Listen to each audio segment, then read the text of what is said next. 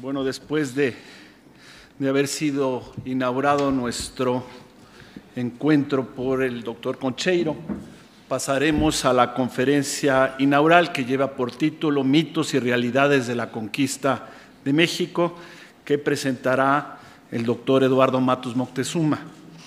Eh, aunque todos ustedes ya lo conocen, eh, leeré algunas palabras de su larguísimo currículum. Eduardo se graduó de arqueólogo en la Escuela Nacional de Antropología e Historia y tiene el título de maestro en Ciencias Antropológicas por la UNAM, casa donde también realizó estudios de doctorado. Entre los sitios arqueológicos donde ha excavado destacan Comalcalco, Teotihuacán, Cholula, Tula, Tlatelolco y Tenochtitlan. Por más de 50 años ha sido catedrático en la ENA e impartido numerosos cursillos en universidades mexicanas, francesas, españolas y de los Estados Unidos. Sus publicaciones superan el medio millar entre libros, catálogos, guías de capítulos, artículos, folletos, semblanzas y reseñas. Destacan sus clásicos Muerte a filo de obsidiana, Vida y muerte en el Templo Mayor, Teotihuacán, Los Aztecas, Las Piedras Negadas, La muerte entre los mexicas, Arqueología del México Antiguo y Escultura Monumental Mexica. Sobresalen igualmente en su prolífica carrera más de mil conferencias impartidas en México y el extranjero. El, impacto planetario de sus aportaciones le han valido honores en prácticamente todos los rincones del mundo. El gobierno francés le otorgó las palmas académicas, la Orden de Caballero de Artes y Letras y la Medalla Nacional al Mérito, una más que a María Félix. En los Estados Unidos ha recibido el doctorado honoris causa de la Universidad de Colorado y la medalla Henry Nicholson de la Universidad de Harvard, institución esta última que creó recientemente una cátedra que lleva su nombre, todo esto para desgracia de Trump. El profesor Matos Moctezuma también ha sido nombrado miembro honorario del Instituto Arqueológico Alemán y de la Sociedad de Anticuarios de Londres y ha recibido la mención de honor del Congreso Internacional de Americanistas en Viena. Lo más significativo es que Eduardo Matos también es profeta en su tierra, donde ha sido designado profesor emérito de Lina, su casa desde eh, por casi seis décadas. Es miembro del Colegio Nacional, la Academia Mexicana de la Historia, la Academia Mexicana de la Lengua y el Seminario de Cultura Mexicana. También ha recibido el Premio Nacional de Ciencias y Artes, el reconocimiento de la Universidad Autónoma Metropolitana, Campus Xochimilco, y el doctorado honoris causa de la UNAM, y obviamente un largo etcétera. Maestro, la palabra es suya. Ese etcétera, te lo hubieras leído todo, hombre. Bueno, pues bienvenidos aquí a esta sede del Colegio Nacional y eh, como comentó Luis Fernando, eh, en efecto propusimos hace ya algún tiempo que era, yo diría casi obligado, el tema de 1519. Quiero decirles que en el seno de nuestras reuniones eh, hubo una discusión enorme que cuál debería ser el título finalmente quedó en el que ustedes ya conocen, ¿verdad? 1519 a 500 años. Y puntos suspensivos para, también aquí hay un etcétera, para los que quieran agregarle algo más. Entonces, el tema obligado era ese. Y yo creo que también el tema obligado para iniciar nuestro cuarto encuentro, pues era tratar algo sobre el momento de la conquista. ¿no? Y entonces me correspondió a mí, como organizador junto con Luis Fernando Lara, pues hablar del tema ya mencionado. Entonces, entrando en materia, quiero comentarles que, bueno, sí, sí sirvió, bueno, este, que eh, hay que recordar que con antelación habían habido ya algunas eh, llegadas de galeones españoles a las costas de Mesoamérica. Y entonces, recuerdan ustedes lo de Grijalva, de Hernández eh, Portocarrero, en fin, había habido precedentes de, este, eh, de estas llegadas. Por lo tanto, ya también se sabía aquí en el centro de México por parte de Moctezuma que eh, iba o que había estos intentos. ¿no? Eh, se le va a avisar a Moctezuma que nuevos galeones están costeando, sobre todo en ese momento, el área de lo que hoy es Veracruz. Ahí tienen ustedes esta imagen. Eh, ven al vigía subido encima del árbol, ¿verdad? Percatándose de este hecho para comunicárselo a Moctezuma. Se dice que eh, Moctezuma mucho se apesadumbró, es decir, eh, entró en un momento crítico porque sabía pues que nada bueno se iba a presentar con la llegada de gente extraña a las costas de Veracruz. Entonces, eh, Moctezuma eh, va finalmente a eh, ser el protagonista, por lo menos en una primera parte, de, de digamos, en relación a lo que va a ocurrir a partir de ese momento. Cortés eh, es quien comanda. Recuérdense que él había huido de Cuba en cierta forma, había sido nombrado por Diego Velázquez, pero como eh, jefe, como comandante de esta nueva incursión, pero en un momento dado Velázquez entra en dudas y Cortés decide hacerse a la mar. O sea, escapa de, eh, de Cuba y viene a parar a tierras mesoamericanas. Aquí el contendiente, pues como decíamos, va a ser Moctezuma II, de todo este linaje que había estado gobernando la ciudad de Tenochtitlan. Y entonces le va a tocar a él enfrentar en una primera instancia a lo que eran estas fuerzas eh, ajenas a Mesoamérica. Hay algo interesante que quiero recordar. En su paso por Cozumel, por la, por la península de Yucatán, Cortés se sabe que hay españoles náufragos que desde hace siete años se encuentran en esas tierras mayas. Y entonces va a, eh, dice las crónicas, que les envía cartas y que invitándolos a que se unan a la empresa conquistadora. Eh, esto lo recibe en primera instancia Jerónimo de Aguilar. Jerónimo de Aguilar era, tenía algunas órdenes eh, religiosas, en fin, dicen que leía su libro de horas, no sé en el naufragio cómo lo salvó, pero se ve que puso mucho celo en eso. Y yo he escrito por ahí en algún eh, prólogo cómo en lugar de voltear a ver a una joven maya que pasaba frente a él, pues prefería clavarse en su libro de horas y rezar. Enterado de que andan en la costa por aquella carta de Cortés, se va a buscar a su hermano, a Gonzalo Guerrero. Gonzalo Guerrero, ese sí que veía a las mayas, o sea, eh, estaba casado, tenía ya hijos, quizá los primeros mestizos, ¿verdad?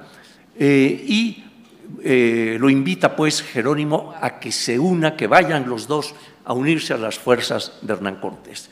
En un principio, o de plano, va Guerrero a decirle, no, mira, estoy casado, tengo tatuado mi rostro al estilo maya, mira mis hijicos cuán bonitos son, o sea, yo no voy a irme a unir, yo me quedo aquí porque soy eh, jefe y soy capitán en tiempos de guerra. Y parece, se dice, que murió inclusive eh, apoyando a los mayas en contra más tarde de los españoles. El hecho es que entonces Jerónimo de, Aguilar va a las naves, se sube, no lo reconocen porque estaba pues tostado por el sol, ya vestía eh, ropajes indígenas, en fin, por todo ese tiempo, y no lo reconocen.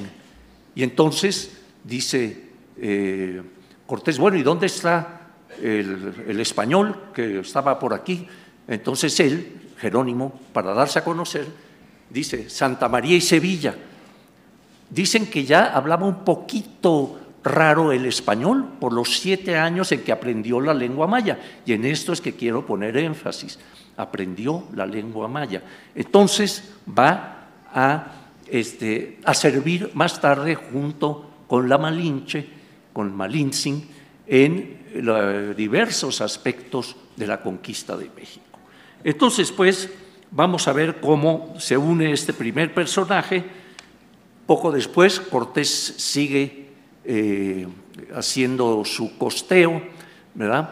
Y eh, se va a dar la famosa batalla de Centla, en donde eh, entran en acción los caballos, es un enfrentamiento muy fuerte, deja bajas por ambos lados, ¿verdad? Y va a, provocar, en cierta forma, que al día siguiente se le regalan a Cortés, a sus gentes, 20 mujeres, entre ellos la Malinche. ¿no? Eh, la Malinche era una persona muy instruida, puesto que era hija de caciques de aquella región, de lo que hoy es Tabasco, por ahí. Entonces, era una persona preparada, era una persona este, inteligente, ¿verdad? Y eh, aquí viene eh, lo que yo considero un primer mito que hay, ahora sí, perdón por repetir, pero que hay que desmitificar, ¿no? Que es, nosotros sabemos que actualmente lo que, el que tiende más a lo extranjero que a lo, eh, que a lo propio, que a lo nacional, se le dice malinchista es decir, que prefiere aquello que nos es ajeno a lo propio. Entonces, eh, ese nombre ha permeado siempre y, eh, sin embargo, considero que la Malinche no fue una traidora. ¿Por qué razón? Porque ella no era, hasta donde yo he podido averiguar, no era mexica. Si hubiera sido mexica o azteca, entonces sí, ¿no? traiciona a su propio pueblo, pero no lo era. Y al contrario, había sido testigo de la expansión que el mexica, que Tenochtitlan había hecho por aquellas regiones. Entonces, estaba uniéndose precisamente para eh, apoyar a quienes quizá pudieran defenderlos en contra de Tenochtitlan. ¿no? Eh, pero el hecho importante es que entonces va a tener a su otra traductora. La Malinche, como digo, era una mujer preparada, hablaba varias lenguas indígenas, entre ellos el maya y el náhuatl. ¿no? Entonces iba a apoyar con la ayuda de Jerónimo, que hablaba el maya y el español, pues a servir de mucho y constantemente se les menciona en las fuentes. Eh, ahora bien, quiero marcar un una diferencia muy importante, que luego la veremos en algún mapa. Eh, es muy diferente la actitud que tienen los mayas a la actitud que tienen los, eh, las gentes de la costa veracruzana. ¿En qué sentido? En la zona maya se les recibe eh, de forma beligerante, se les ataca, hay guerras, etcétera, ¿verdad? Si no, se retiran y dejan los pueblos solos, ¿verdad? Entonces tenemos de esa información bastante de cómo son recibidos en lo que es esa zona maya. En cuanto llegan al área veracruzana, precisamente en Veracruz, eh, va a haber un cambio fundamental. Allí se les recibe bien, se les da bastimentos, se les em, abastecen una serie de cosas, en fin. Entonces, ¿a qué se debe este cambio radical entre mayas y los grupos veracruzanos costeros? Pues a un hecho muy sencillo. Los grupos veracruzanos costeros eh, eran y estaban bajo el control de Tenochtitlan. Estaban sujetos primero eh, militarmente, después ya por un tributo enorme que se les aplicaba, y entonces estaban agobiados por, aquel, eh, por, aquella imposición. ¿no? Y entonces, ¿qué, ¿qué, va a ocurrir? Apoyan a Cortés inmediatamente. Igual que la, la Malinche, pues ven la oportunidad de unirse con alguien. Y Cortés inmediatamente se da cuenta de esto. Y entonces va a decirles, ustedes ya no están sujetos al Señor de, atrás de los volcanes, a Moctezuma, sino que ustedes ya tienen otro Señor, ¿no? que es Carlos V. Entonces, este, eh, así que ya ustedes no tienen que pagar el tributo, quedan liberados de eso y demás. Pues aquellos pues felices, ¿no? Porque realmente la eh, tributación era bastante fuerte, ya lo, ya lo veremos más adelante. Entonces, ¿qué va a ocurrir? ¿No? Que con aquel apoyo Cortés ve que tiene ya, por así decir, tierra firme para poder asentarse e iniciar la conquista de Tenochtitlan. Y aquí viene otro mito que nos decían nuestras maestras en la primaria, nuestras muy queridas maestras, nos, nos decían. Y entonces Cortés quemó las naves, no las quemó nunca.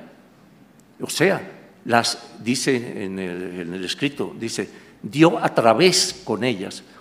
Este, siempre que me meto en estas cosas de palabras, temo la presencia de mi amiga Compani y de Luis Fernando, que están dedicados a esos temas. Pero en fin, yo me arriesgo y ya. Este, entonces dice, dio a través con las naves, o sea, las encalló, las embaró, no embarazó, embaró, que no haya Y entonces, este, eh, Cortés pues ya se siente firme, porque además en las eh, huestes que él traía había muchos inconformes de que se hubieran escapado de Cuba, querían regresar, ¿no? Y otros sí, eran fieles totalmente a Cortés. Entonces Cortés con esta actitud, primero, eh, ahora sí que alia yacta es, ¿no? La suerte está echada, encalla estas naves y va a, eh, digamos, a iniciar lo que es la conquista de México. En este aspecto hay algo importante que yo creo que hay que también eh, aclarar, ¿no?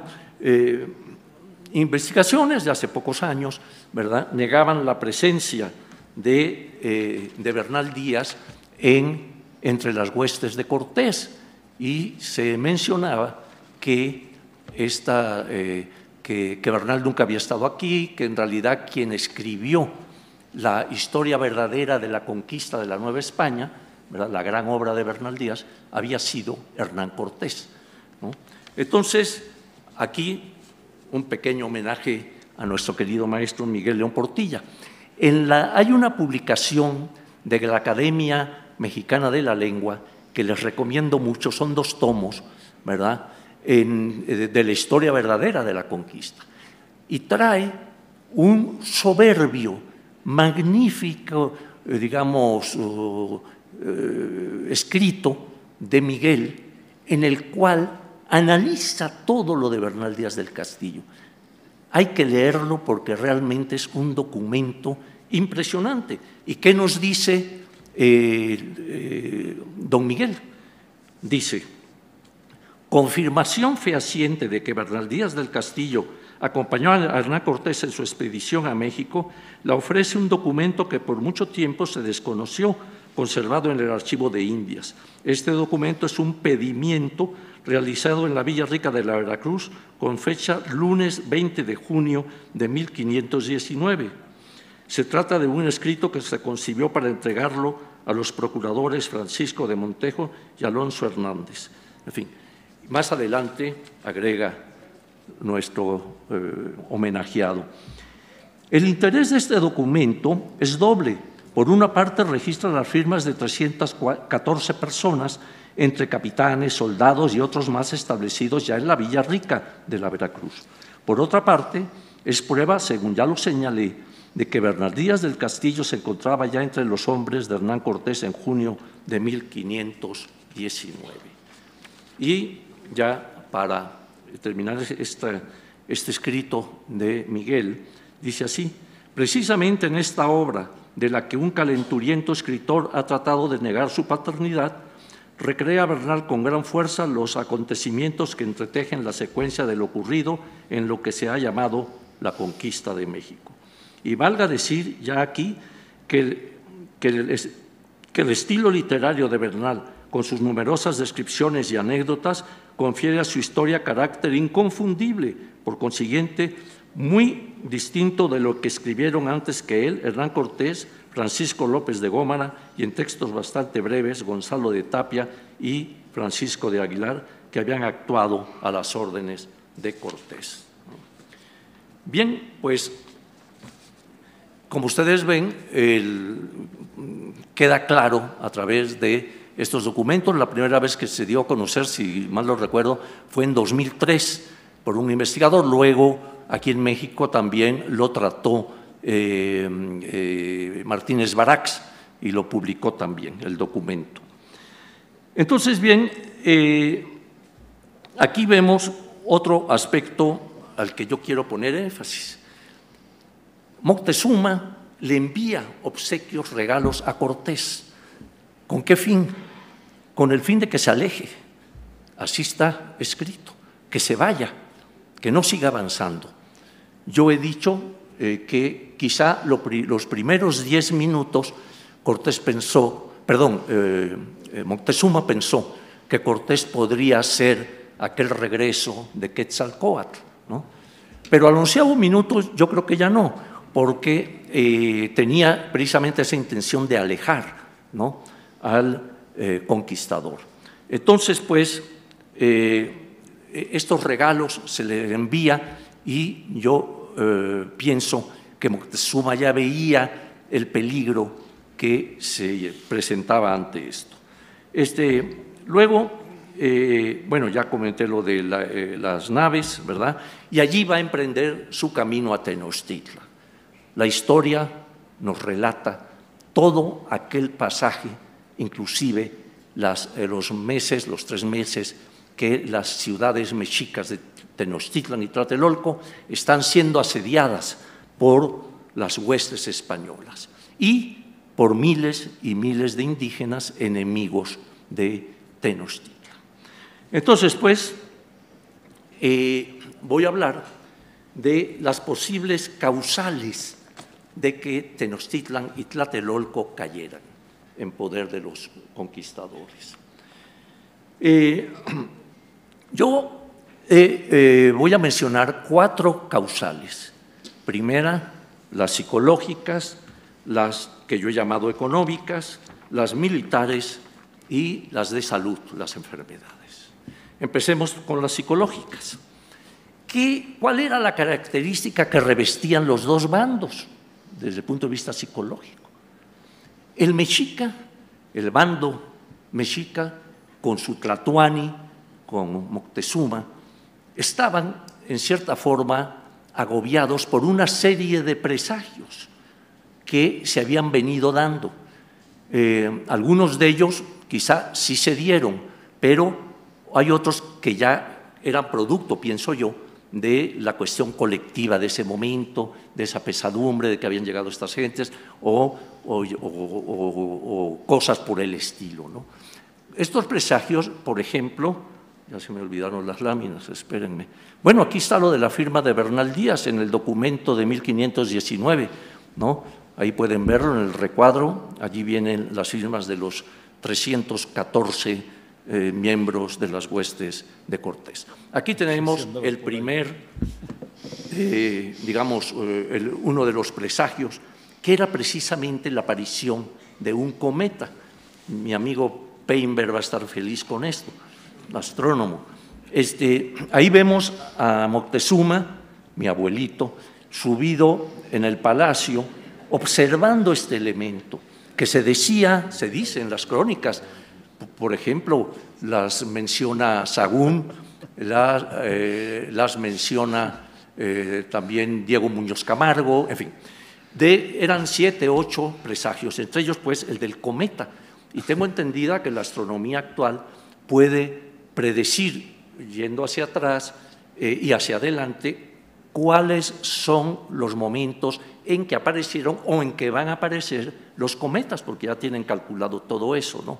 Entonces, esto causó, imagínense, pues una eh, sensación tremenda ver, estas cosas. Por otro lado, se dice que se incendió un templo sin haber razón, las aguas del lago se pusieron turbulentas, eh, aparecieron personajes de dos cabezas, como el que ven abajo, y en otro caso también una especie de grulla que traía un como espejo en la cabeza y en la cual se veía avanzar a las huestes españolas. ¿no?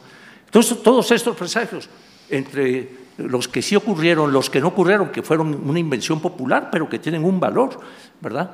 Eh, se une también el de la Llorona, el famoso, eh, el famoso relato con el que nuestras abuelitas nos asustaban, pues era el de la Llorona, niño, si no te portas bien, va a venir la Llorona, ¿no? Una mujer de pelos largos, etcétera.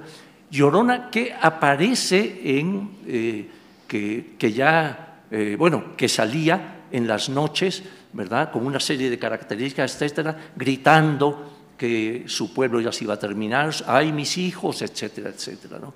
Entonces, dentro de estas causas psicológicas, primero están estos aspectos de los presagios que no anunciaban nada, nada bueno. ¿no? Después, ¿qué va a ocurrir? Eh, es cuando llega ya Cortés a Tenochtitlan, captura a Moctezuma lo tiene capturado en el palacio de Axayacal, que es donde residen los eh, españoles, ¿verdad? Y el, el, Tlatuani, quiero decirles que Tlatuani, y aquí sí que me corrija Leonardo, eh, eh, viene de la palabra Tlatoa, que es palabra, el que tiene la palabra, el que habla, y ese era el Tlatuani, es como decir hoy el señor presidente, cosas así, era el Tlatuani. Entonces, eh, imagínense lo que es para un pueblo que su gobernante máximo es capturado y lo tienen preso en la casa de los conquistadores. ¿no? Recuerden que el Tlatoani reunía en sí dos características fundamentales. Era el gran jefe de los ejércitos, el gran capitán, y era a la vez el sumo sacerdote. O sea, que los poderes, tanto eh, del ejército coercitivos como los ideológicos estaban bajo el mando de, en este caso, de Moctezuma. Entonces, esto es muy importante, porque teniendo preso a su máximo, a su máximo gobernante, pues se va a, presentar una situación muy difícil para el bando mexica. ¿no? Y después vienen los combates. Recuerden cómo se levantan a raíz del la matanza del Templo Mayor, etcétera, etcétera, se levantan los mexicas en plan guerrero, atacan el palacio de Axayacal, el asedio es tremendo, muy fuerte, y entonces va a ocurrir este, algo interesante. Al estar preso Moctezuma, se nombra a otro Tlatuani, a Cuitláhuac. Entonces, eh, ahora sí, como los papas, ¿no? el papa que se retiró y el papa actual, pues ahí están los dos.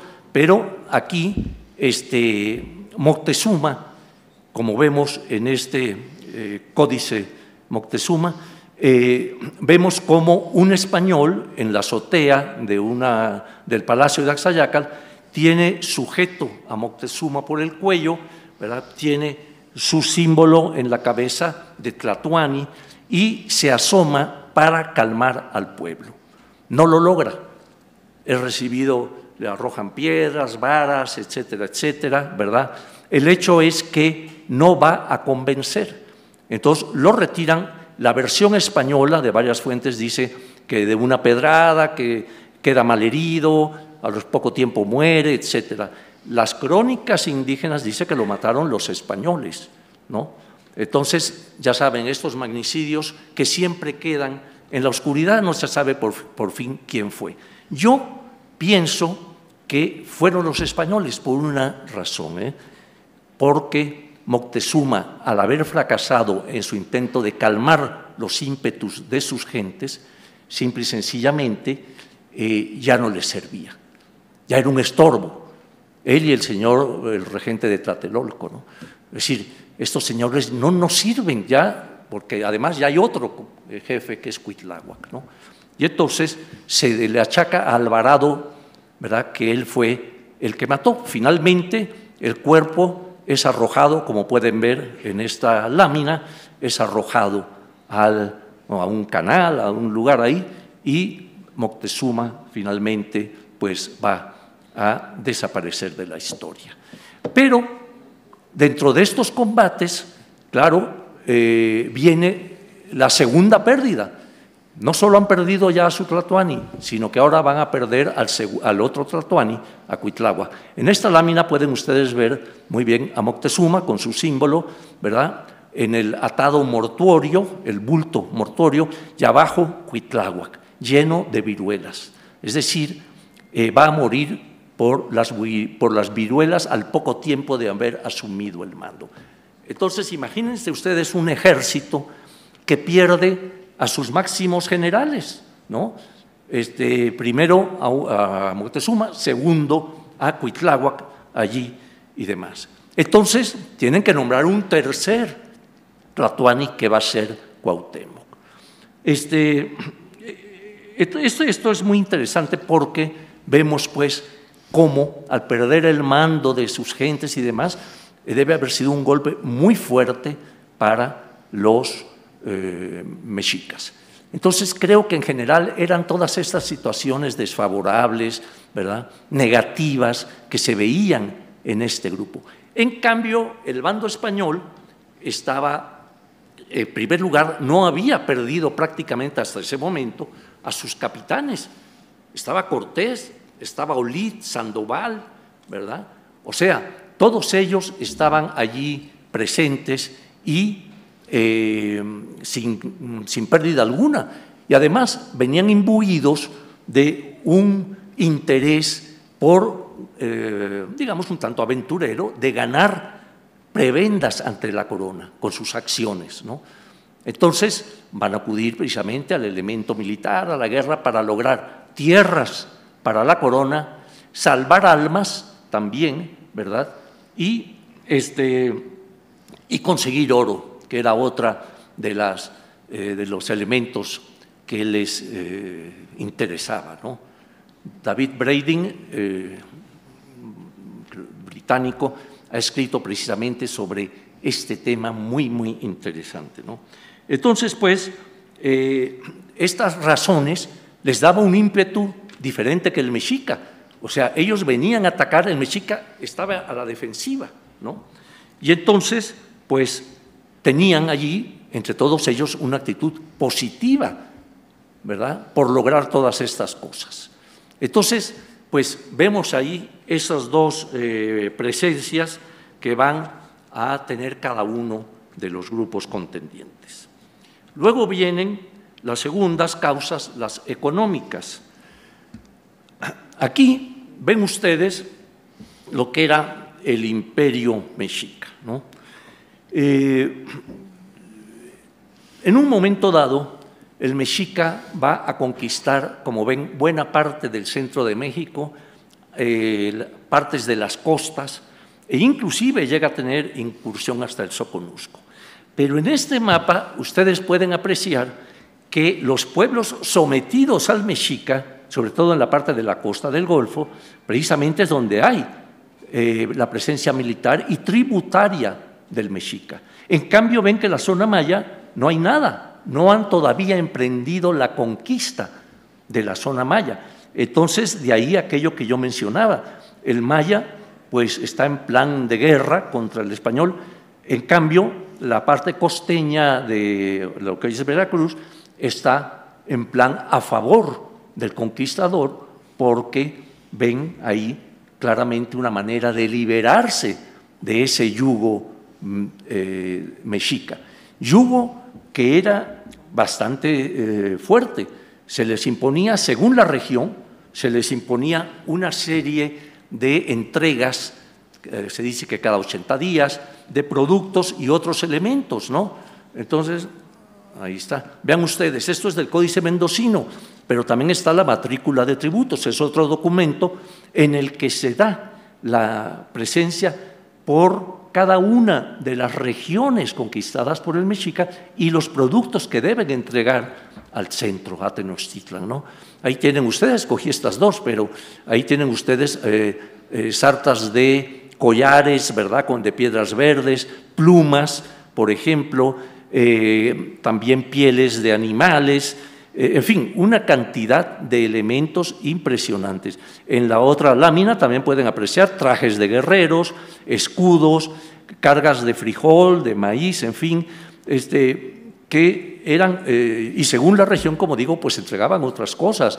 Eh, podían ser también, digamos, de las costas. En Templo Mayor hemos encontrado una serie de presencia costeña impresionante. O sea, una cantidad de productos, desde conchas, eh, eh, peces, animales en general, ¿verdad?, que venían del área tropical de la costa, hasta cocodrilos se han encontrado. Eh, Leonardo hace poco me llevó precisamente a ver una de las ofrendas, ¿no? aquí, a un lado, a 100 metros, en que estaba apareciendo eh, una serie de, eh, eh, de estrellas marinas, cosa que no habíamos detectado antes, por lo, porque claro, se están deshaciendo, va quedando una pequeña resto, ¿verdad? Y ellos lo, lo encontraron para darle una variante, mi querido Leonardo, nada más cuenta rápidamente ese aspecto de las... De las, y échate ya la conferencia. Lo que sigue. sí, bueno, en, dos palabras, eh, sí hemos encontrado en, fechas muy recientes y gracias al equipo del, del doctor Francisco Solís de, de Ciencias del Mar y Limnología de la UNAM, Gracias a todo este equipo hemos podido identificar siete especies diferentes de, estrellas de mar en las ofrendas del Templo Mayor. Imagínense a 500 kilómetros de la costa, casi todas estas especies, seis de ellas del, Océano Pacífico. Y obviamente es una dificultad de identificarlas eh, taxonómicamente porque solo quedan lo que llamamos las, placas de silicio, es decir, pequeñas, pequeñísimos este, fragmentos. Gracias. Bueno, este, de viva voz de quien está encontrando estas cosas con su equipo, pues ven la riqueza de, en estas ofrendas que nos denotan esas conexiones con regiones costeñas del altiplano, etcétera, etcétera. ¿no? Eh, ha habido estudios de las conchas, ha habido estudios, en fin, eh, diferentes tesis sobre estas presencias. ¿no? Entonces, eh, como ven, pues Entramos, ya vimos las psicológicas, ya vimos las económicas, ahora vamos a entrar a las militares. Esta causal militar, que, en la que también hay otro mito, valga la expresión, que hay que desmitificar. Y se trata de que comúnmente, y a mí me lo han preguntado varias veces, ¿no? Oiga, profesor, ¿cómo es posible que 800 españoles hayan, eh, conquistado a miles y miles de indígenas mexicas? Pues no, es que no eran nada más 800 o mil españoles, eran eso, más miles y miles de contingentes indígenas, sobre todo de Tlaxcala, Huejotzingo, o sea, de los pueblos que estaban o conquistados por el mexica o a punto de ser conquistados. Entonces, veamos una pequeña, una referencia que hay sobre este aspecto que nos relata eh, que nos... A ver, ¿dónde lo Aquí.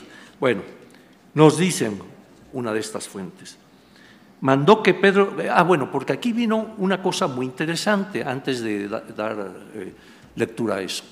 Aquí tienen lo que puede ser Tenochtitlan y a su lado izquierdo, no de ustedes, bueno, ahí ven a Tlatelolco también, la otra ciudad mexica.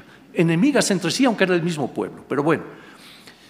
La, eh, era una ciudad estratégica por un lado, pero vulnerable por el otro.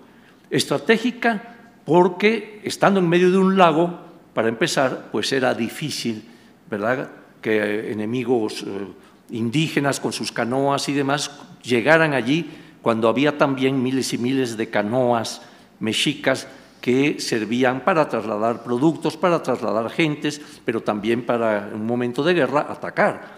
Ustedes ven las calzadas que ligan a tierra firme. ¿no? La de Tacuba, eh, digamos, la que está frente al recinto ceremonial, la de Iztapalapa, que corre hacia allá, hacia Coyoacán, etcétera, y la que corre hacia el norte, hacia el Tepeyac, ¿no? fundamentalmente. Ah, del otro lado había una pequeña calzada, pero no es en realidad casi mencionada. Entonces, pues, una de ellas, la de Tacuba, además, tenía construido partes, eh, digamos, llegando a la profundidad del lago, o sea, estaban más eh, fuertemente cimentadas, y otras que eran puentes, o sea, que se podían inclusive quitar ¿no? para dejar aislado al enemigo. Entonces era una ciudad muy estratégica, pero como digo, también muy vulnerable. Entonces, ¿qué ocurre? Cuando llega Cortés, este, era un estratega eh, tremendo, eh, lo que manda es controlar los accesos a Tenochtitlan. ¿no? Va a controlar precisamente lo que es la parte de Tacuba, la cual pone al mando a Alvarado. ¿verdad? Después va a controlar la parte de, eh, de la de Iztapalapa, ¿verdad? o sea, todas las calzadas que eran el medio terrestre para llegar a Tenochtitlan las van a copar. ¿no? Y entonces, en una de sus cartas de relación, Cortés señala que, eh, que fue un gran ardid, dice él, fue un gran ardid el cortarles el agua potable que abastecía a Tenochtitlan. Esa agua potable venía de los manantiales de Chapultepec y llegaban por la calzada de Tacuba, la que está aquí al frente nuestro, recta, este, llegaba a la calzada de Tacuba y por ahí llegaba, por medio de dos caños, ¿verdad?, el agua a Tenochtitlan. ¿no? Entonces Cortés manda agentes de Alvarado, parece que Bernal Díaz participa en eso, y van, como ellos dicen, a quebrar. Los caños van a eh, destruir este elemento, ¿verdad?, que conduce el agua a la ciudad. Entonces la población queda aislada totalmente, Tenochtitlan, y imagínense, sin agua potable. Eh, y además sin bastimentos, porque la comida y demás, pues, eh, era traída a través de las canoas o a través de las calzadas, pero Cortés había mandado hacer los bergantines. El bergantín era, un, era el más pequeño de los galeones, era un barco de, de no mucho calado, en fin, muy maniobrable, y manda a buscar toda la materia prima en Tlaxcala, manda a la costa a buscar los aparejos de los barcos encallados, ¿no? Y se los trae para utilizarlos en los bergantines. Dota a los 13 bergantines, por cierto, uno lo capturan los mexicas. Este, pero eh, el hecho es que estos elementos ya son ensamblados todo en Texcoco y de Texcoco los van a meter hasta la laguna. Entonces, la estrategia, claro, estaba muy bien diseñada. Era cortar los accesos de alimento y de agua a la ciudad, tener el control del lago a través de los bergantines. ¿no? Y se dice que eran miles y miles de canoas indígenas que atacaban, ¿verdad? Pero cada bergantín traía un, cañón, ¿verdad? Y eh, marineros experimentados, en fin, y pues se iban sobre las canoas y demás, ¿no? Entonces, eh, pero en cuanto al número de soldados, con este otro mito de que eh, mil españoles o los que sea conquistaron, eh, fueron, fueron a conquistar a miles y miles de indígenas, pues no, eran dos ejércitos formidables, ¿verdad? Por eso quería leerles, por ejemplo, puso a Alvarado, como, como se dice, eh, mandó que Pedro de Alvarado fuese por capitán de 150 soldados de espada y rodela, españoles, y muchos llevaban lanzas y dalles y de 30 a caballo y 18 escopeteros y ballesteros. ¿no? O sea, traía esa fuerza. Pero además le dio 8.000 tlaxcaltecas con sus capitanes. ¿no? Igual va a ocurrir con el caso de Cristóbal de Olid que va a quedar en la parte de Iztapalapa hacia Coyoacán. ¿no? Dice allí más o menos y lo mismo, ¿no? Eh, que eh, le dio otros 30 de a caballo y 175 soldados y 20 escopeteros y ballesteros, todos con sus armas, según y la manera que los soldados que dio a Pedro de Alvarado. Y le nombró unos capitanes, en fin, y dice, y le dio otros ocho mil tlaxcaltecas y le mandó que fuese al Real de la ciudad de Coyoacán. El otro, Gonzalo de Sandoval, que era alguacil mayor, le dio 24 de caballo, 14 escopeteros y ballesteros y 150 soldados de espada y rodela y lanza, y más de 8 mil indios de guerra de los de Chalco y Huejotzingo y de otros pueblos por donde el Sandoval había de ir, que eran nuestros amigos. ¿no? Entonces, como pueden ver, pues en realidad era una fuerza. Hay, eh, hay otros números en otros cronistas que inclusive son mayores en cuanto a los contingentes indígenas que apoyan a Cortés. Entonces, era una fuerza de cerca de 70 mil soldados ¿verdad?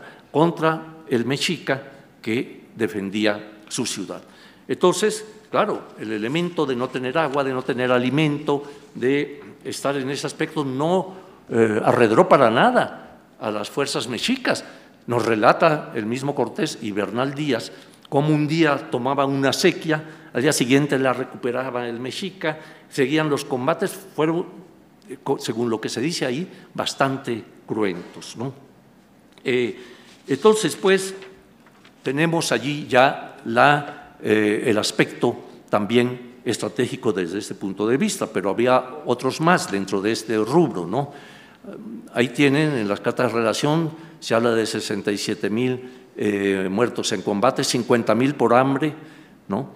Eh, 100 mil en la historia de la conquista de México de Gómara, de Gómara, no hay que creerle mucho, Bernal Díaz mismo no le creyó mucho, por eso escribió su historia verdadera, así la llamó, en lugar un poquito de la de Gómara. ¿no?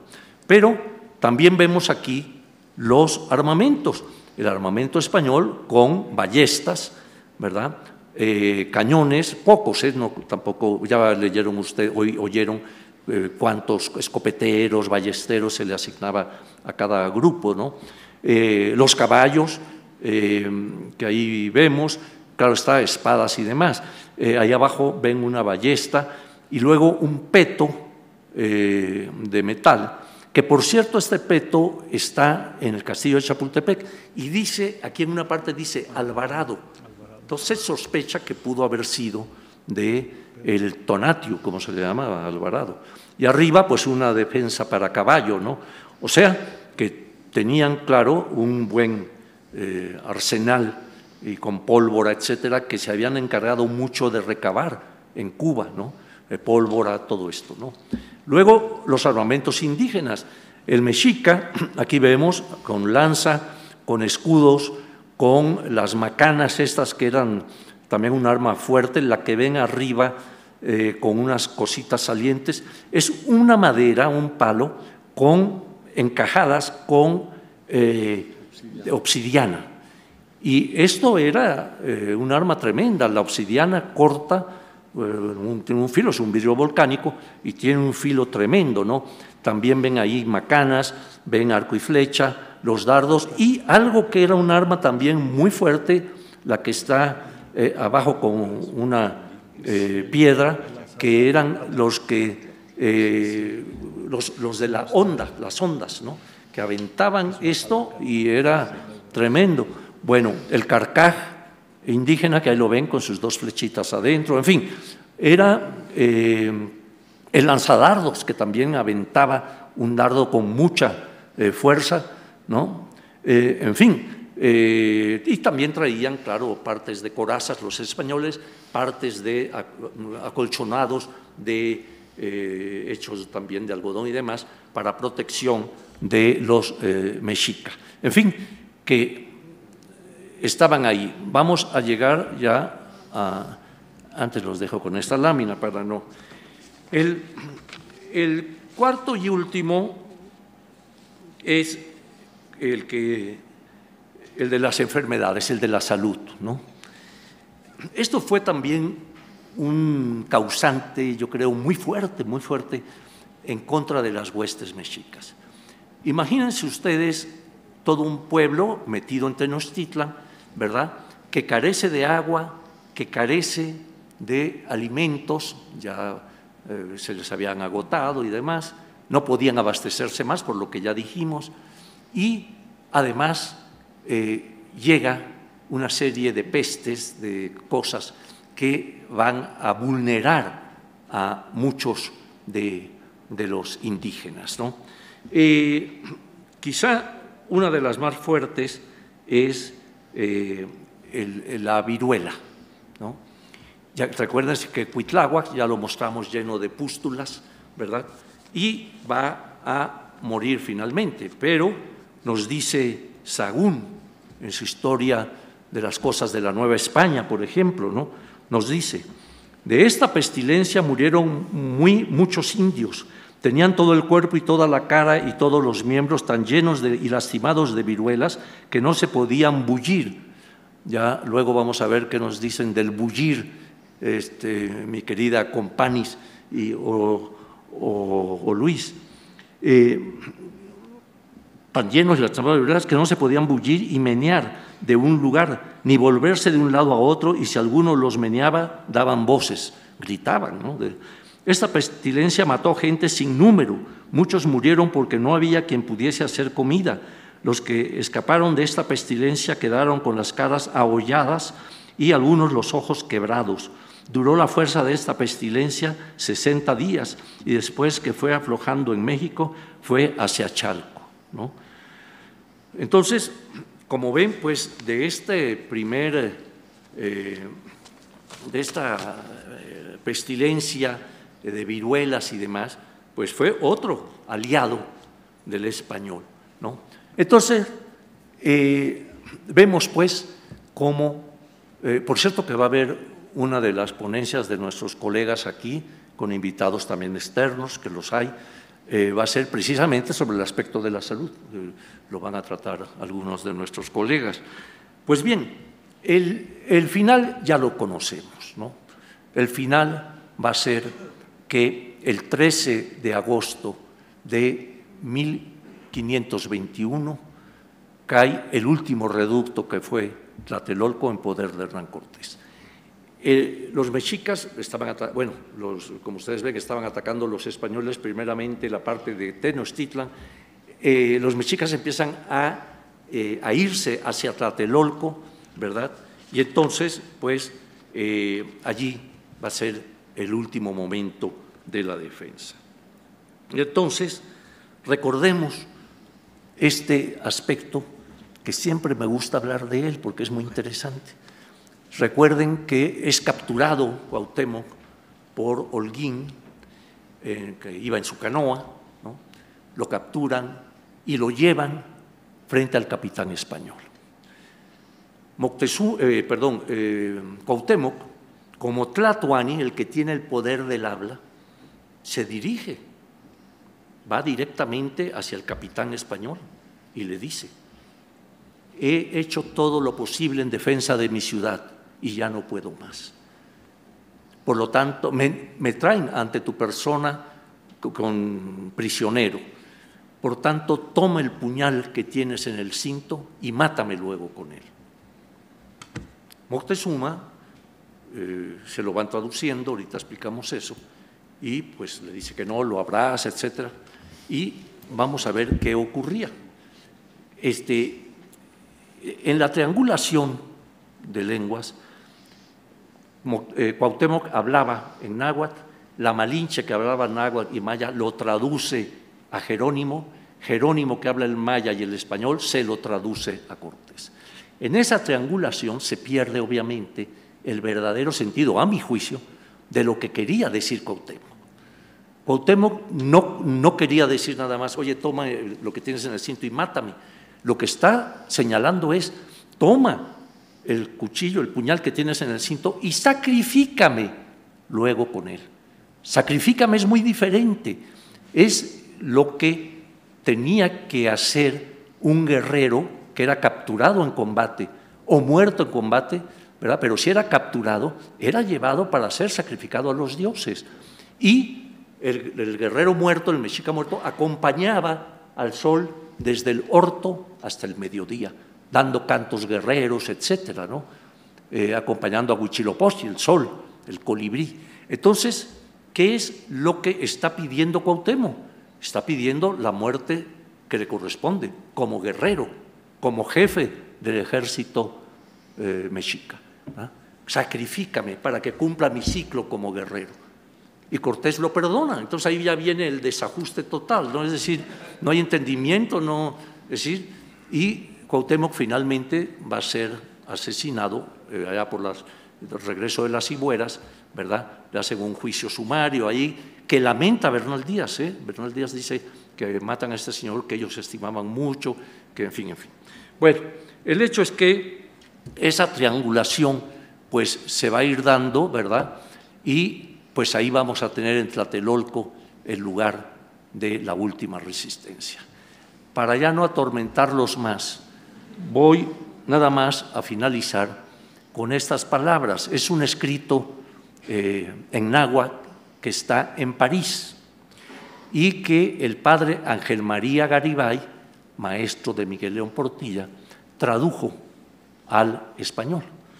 Y entonces, en una parte final de este relato que, nos dice, desde la llegada de los españoles, eh, empiezan a relatar hasta el final de la conquista. ¿no? Es un documento precioso que se le llama el Anónimo de Tlatelolco, está escrito por un indígena de Tlatelolco, ¿verdad? Realza ahí mucho el papel de los Tlatelolcas, en cambio al Mexica medio que lo... ¿Se acuerdan que estaban peleados pese a ser el mismo pueblo? Pero en este Anónimo de Tlatelolco o relato de la conquista, ¿verdad? Vemos precisamente lo que fue el final de este encuentro. Y dice así, fue cuando quedó vencido el Tlatelolca, el gran tigre, el gran águila, el gran guerrero. Con esto dio su final conclusión la batalla. Poquito parrafitos después dice, y todo esto pasó con nosotros, nosotros lo vimos, nosotros lo admiramos. Con esta lamentosa y triste suerte nos vimos angustiados. Entonces, pues, ahí está la palabra del indígena, esas que eh, Luciano mencionó, como Miguel León Portilla también. Este texto está incluido en, eh, el libro de Miguel eh, de Visión de los Vencidos. Pues con esto concluyo, espero no haberlos atormentado y muchas gracias.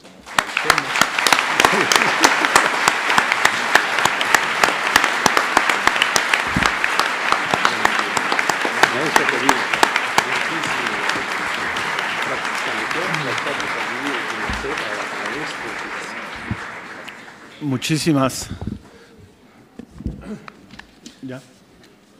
Muchísimas gracias al profesor Eduardo Matos Moctezuma por esta interesantísima conferencia inaugural. Me reportan que en estos momentos tenemos casa llena, todas las aulas de este bellísimo edificio están repletas y agradecemos a ustedes su presencia y su interés.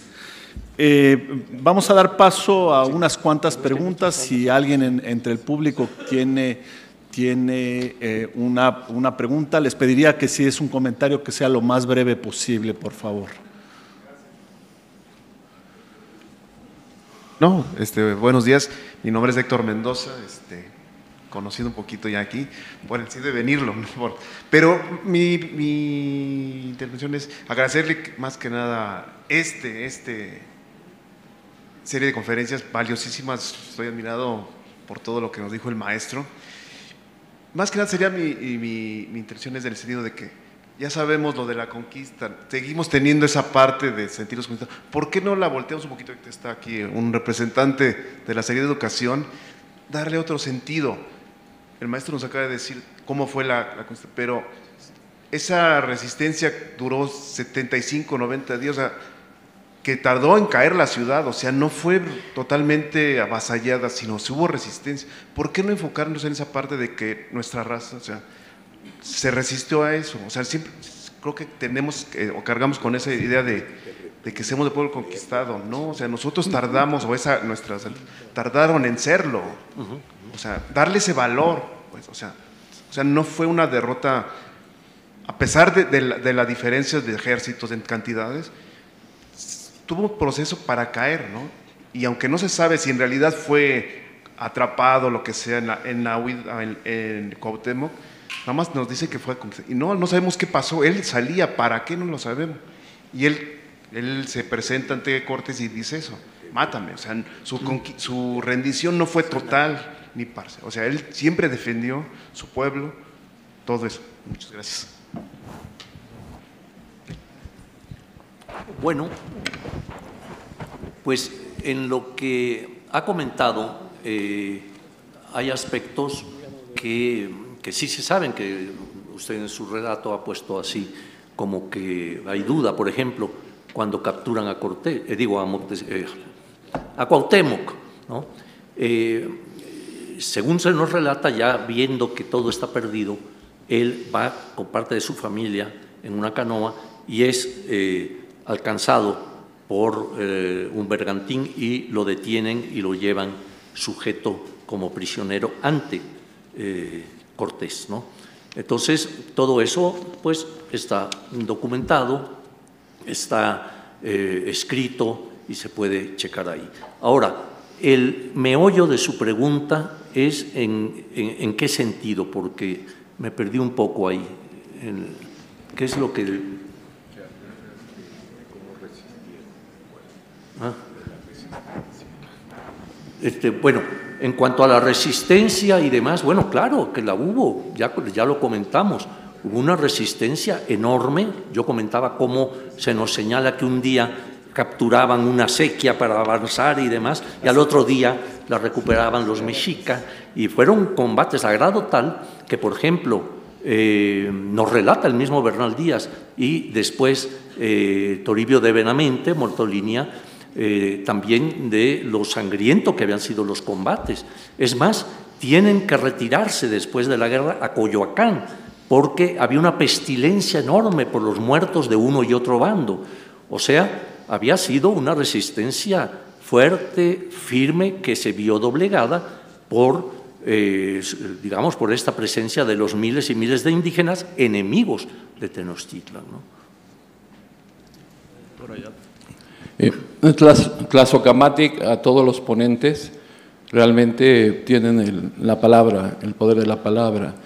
Eh, yo aprovecho que, que, está el subsecretario Luciano para decirle que sería muy importante, ahora con la nueva escuela mexicana y que se ha publicado la Ley General de Educación, en donde dan el justo lugar a las culturas y a los pueblos indígenas. Bien decía don Miguel León Portilla que en el Museo de Antropología se hablaba de los indios muertos en la planta baja y de los indios vivos en la planta alta. Yo creo que hay que darle esta dimensión a, a nuestros 56 pueblos indígenas o más. Hemos propuesto ante la Secretaría, ante Moctezuma, ante el abuelito de Matos Moctezuma, que se incluyan contenidos en los mapas curriculares de las escuelas normales y solamente unos cuantos son los que tienen el poder de hacer estos programas. Esta es una excelente oportunidad, señor subsecretario Luciano, que se incluyan estos contenidos no solo en, las mallas curriculares de, de las escuelas normales de todo el país, sino que también se incluya en los planes de estudio de la Subsecretaría de Educación Básica, en Educación Básica, estos contenidos. Yo soy maestro de Educación Física y solamente de la cultura azteca se hablan tres cuartillas en seis años de primaria y de la cultura maya se habla dos, de las otras culturas no se habla en absoluto. Yo creo que este es un mo momento trascendente y el colegio, en la calidad de colegio, de la libertad del saber, pues había que permear estos, estos contenidos este, fuertemente matizados. Y la pregunta sería a Eduardo Matos Moctezuma, que nos habla muy bien de la conquista, si más bien no fue una conquista de indígenas unidos con los españoles contra un ejército a lo mejor de 50 mil o de 60 mil, pero con la diferencia de estas armas que ha mostrado brillantemente en su presentación. Y por último, yo no sé si la consigna que reza 13 de agosto de 1521 en Santiago Tlatelolco, que dice que no fue triunfo ni derrota, sino el doloroso nacimiento de una nueva cultura producto del mestizaje, sea de ese indígena anónimo. Y enhorabuena, tenemos muchos indígenas que hoy están dando en la pelea en la Universidad Nacional Autónoma de México. Aquí en Tepito tengo muchos indígenas que son alumnos destacados en el deporte, en el, en el ajedrez y también en el patole. Es cuanto, Tlazocamática. Bueno, pues mira, yo creo que precisamente el avance de la ciencia, de las diferentes ciencias, de las diferentes disciplinas, tienen que ir siendo, claro, tomadas en cuenta para incorporar esos datos ahora en libros de texto gratuitos, en fin, en toda una serie de aspectos para enriquecer y poner al día lo que ha dado la ciencia, lo que ha dado, eh, eh, digamos, las humanidades, etcétera, ¿no? Entonces es muy importante eso. Comentaste, eh, mi querido maestro, un, mm, la placa que está en Tlatelolco, el último lugar de la resistencia indígena. Esa placa, efectivamente, es anónima también, igual que el relato de la conquista, pero esa placa dice precisamente el 13 de agosto de 1521, heroicamente defendida por Cuauhtémoc, cayó Tlatelolco en poder de Hernán Cortés. No fue triunfo ni derrota, fue el doloroso nacimiento del pueblo mestizo que es el México de hoy. Este, no se sabe quién la firmó, si pasan algunos años y nadie reclama la autoría, yo le voy a poner abajo Eduardo Matos Moctezuma. es muy bonita.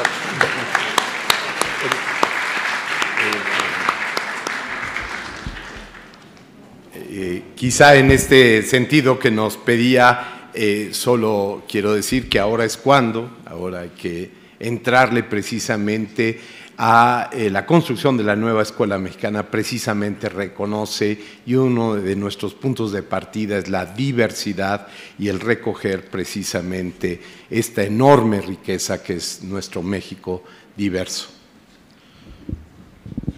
Por allá.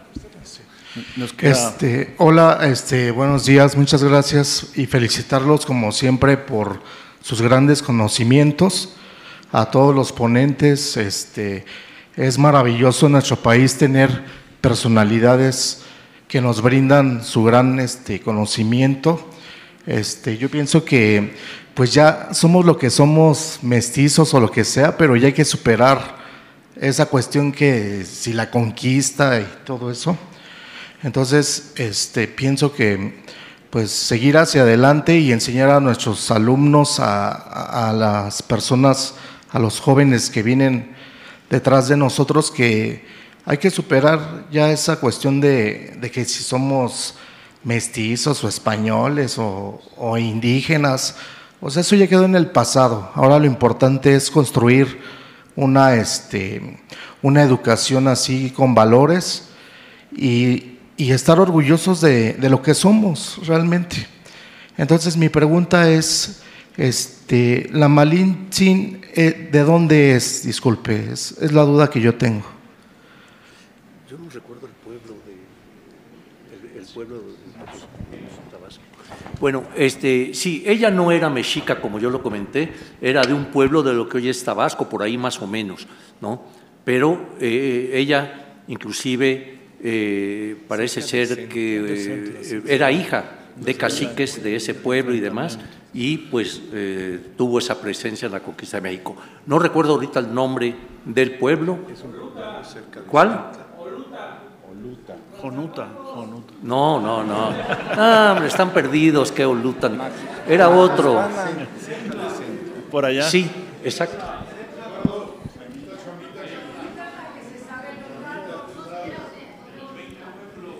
¿Sí?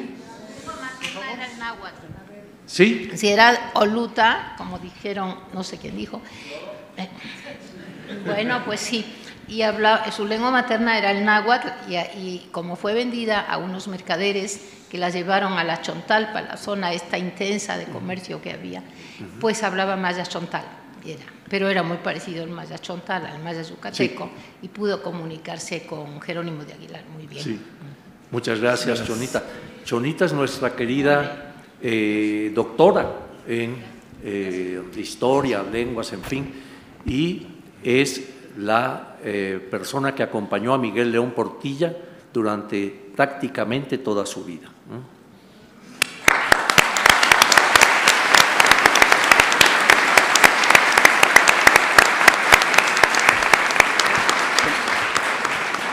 Ahora, pasamos a Ah, perdón, no, como tenemos... Sí, pasamos a la, a la, última pregunta, ¿te parece No, pero esta es la mía, la que yo quiero hacer. Ah, pues quiero. No, este, ¿Ah? yo quiero preguntarle, por ejemplo, a la doctora Compani, a Chonita misma, a Luis Fernando, por ejemplo, todo este bagaje de palabras eh, de los taínos o de los que traían. Por ejemplo, cuando leemos eh, jicotea, pues es la tortuga, ¿no? Pero algunos preguntan, ¿qué es jicotea? Este, sí, o sea, traían un bagaje eh, de, de las Antillas que van a aplicar en México, ¿no? Entonces, además, no sé, creo que ustedes en su conferencia algo van a hablar de esto, no lo sé. Bueno, en parte sí, eh, lo que se ve en la documentación muy temprana, escrita ya en México y en las propias cartas de Cortés, escritas a lo largo de unos 30 años aproximadamente, pero en la documentación muy temprana ya usaban canoa.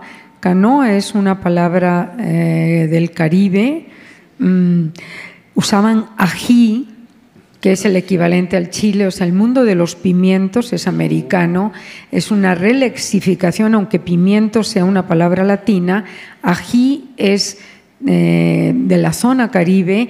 Y luego se impuso Chile para ciertas zonas americanas y en otras queda todavía ají, o sea, ambas son indigenismos, pero Chile es del náhuatl. Los españoles traían un bagaje de lengua taína y de lengua caribes porque habían el viaje era quedarse en Cuba durante muchos años, muchas veces. Ese es el caso de Hernán Cortés. Y Hernán Cortés se casó con doña Catalina y estuvo en Cuba casado y el juicio de residencia que le hicieron a Hernán Cortés sale a relucir eh, si mató o no a Catalina Juárez, y salen una cantidad impresionante de indigenismos. cuando digo impresionante es que se puede constatar unos 30 indigenismos, huracán, canoa, hamaca, ají, era de la vida cotidiana de ellos y se enriquece mucho más la lengua cuando llega a tierra firme, eh, con náhuatl y también con lenguas que se hablaban en Centroamérica, con maya. lo que llaman tierra firme o Castilla, es, eh, la firme es Panamá, que también era un camino. Entonces, bueno, es un, es un español mestizado, enriquecido por lenguas indígenas y realmente pues pasó del contacto, de un fenómenos de contacto y préstamo a integrarse el mundo indígena en la lengua española y la lengua española está permeando totalmente las lenguas indígenas también. Es recíproco, es un enriquecimiento y complejo que, analizaremos el miércoles. Sí, gracias. Bueno, pues, pues ya, ¿no? muchísimas gracias. Gracias Concepción por esta